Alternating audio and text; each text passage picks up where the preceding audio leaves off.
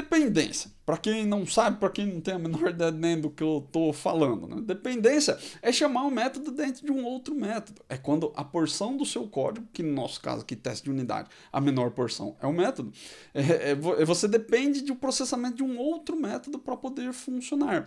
A gente, claro, deseja que as funções, que os métodos do seu sistema, que eles funcionem de forma independente, mas é, todo, todo sistema ele precisa ter um certo nível de acoplamento. Então, precisa haver dependência entre as partes. Né? Se elas não se comunicam, você vai ter um carro, por exemplo, que é, desmonta quando você coloca no chão. Né? Você vai ter um monte de peça solta ali que não se encaixa.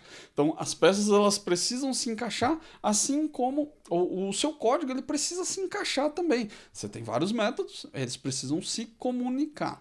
Muitas vezes essa, é, essa dependência ela deixa de ser só entre métodos da mesma classe e passa a ser dependências com outras classes. Né? E aí essa dependência ela fica muito explícita quando você usa o operador new. Toda vez que você tem um new alguma coisa, você está gerando um alto acoplamento, uma alta dependência sobre aquela classe. Se a gente pegar no nosso exemplo aqui, ó, eu tenho aqui uma classe incluir reserva, uma classe de fluxo, né, um command handler, é, talvez você chame de use case, ou sei lá como você chama aí, é, e ele tem aqui é, um, um um passo aqui, o primeiro passo do nosso método é obter o cliente. Veja que ele aciona aqui um, uma outra classe, né? Eu poderia aqui simplesmente fazer o seguinte, ó. cliente, cli, ficou meio esquisito não é aqui, mas é new cliente API client.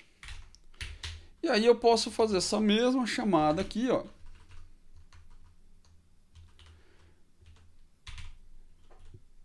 chamando a classe que eu instanciei. Então eu dou um new na minha classe, automaticamente aqui eu estou gerando uma dependência né, e vou chamar um método de uma outra classe. É isso que a gente é, que faz a gente gerar as dependências. Por que, que isso é uma dependência? Porque se eu vier aqui agora e fizer uma alteração na minha classe cliente API client, por exemplo, vou renomear ela para cliente API client X, a minha classe aqui incluir reserva, ela quebra. Então eu tenho uma dependência direta agora com a outra classe. Qualquer alteração estrutural que eu fizer nessa classe pode surtir efeito direto em outras classes do meu sistema. Então eu estou aumentando o acoplamento, estou né? gerando dependências dentro do meu sistema. E aí a gente costuma dizer, dentro da orientação objeto, que é desejável que você tenha um baixo acoplamento, que as suas, é, o, seu sistema ele não tenha é, zero acoplamento, porque como a gente falou já é, é impossível ter zero, mas que ele seja baixo, porque quanto mais baixo é, mais fácil é de manter. Se eu tiver menos dependências diretas, fica mais simples de mexer no código depois. E aí, essa implementação de, de baixo acoplamento, é, para fazer isso a gente usa interfaces. Então, lá no .NET Core, quando ele começou, com o seu mecanismo de injeção de dependência ali, é, esse conceito de interface ele começou a ficar mais presente para quem é do .NET. A galera que veio lá do Full Framework, que veio do VB, que veio do ASP3, a gente não era acostumado a usar interface. A gente saía dando new em tudo que era lugar, do jeito que está aqui que é o normal, na nossa cabeça, pelo menos. E aí, quando veio o conceito de injeção de dependência, esse conceito de trocar suas dependências por interfaces, ele ficou mais claro para a galera do .NET. Então, hoje, você não precisa mais fazer desse jeito aqui. Você pode simplesmente receber uma interface, né, e desde que a sua classe original lá, ela implemente uma interface, né, é, você consegue receber essa interface aqui como parâmetro, e fazer o desacoplamento aqui. Ou seja, eu não dependo mais da implementação concreta do método. Eu dependo só do comportamento que a interface declara. É, aqui o baixo acoplamento você pode observar quando eu trocar o nome da classe. Agora que eu tenho lá a referência só pela interface, se eu trocar o nome da classe aqui, ó, a minha outra classe ela não quebra. Então eu não tenho mais uma dependência direta com o cliente API client. Eu tenho uma dependência sim, mas agora com uma interface. Ou seja, a interface ela declara comportamentos. E essa é uma das chaves do Dependency Inversion Principle. É a parte que eu acho que todo mundo entende, né? Você, ele menciona lá que a gente deve depender de comportamentos e não de implementações concretas. Ou seja, eu, posso, eu preciso depender só de uma declaração do comportamento, que no caso seria interface aqui. Antigamente a gente chamava interface de contrato, né? um contrato de implementação, ou seja, cada classe que implementa essa interface aqui é obrigada a ter um método chamado obter cliente. Então você força a implementação. Né? Era assim que eu via, pelo menos.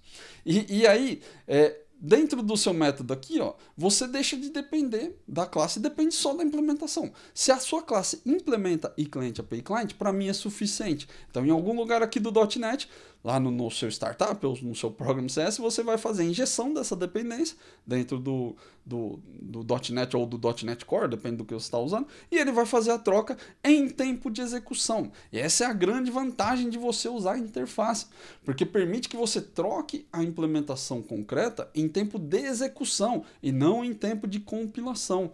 É, que é a grande diferença aqui, né? Se eu dou um new na minha classe aqui, ó, e eu remover tiver que trocar aqui para new client X, eu sou obrigado a compilar meu código de novo. Nesse caso aqui, não. É, talvez sim, talvez não, né? depende de como está estruturado sua solution aí.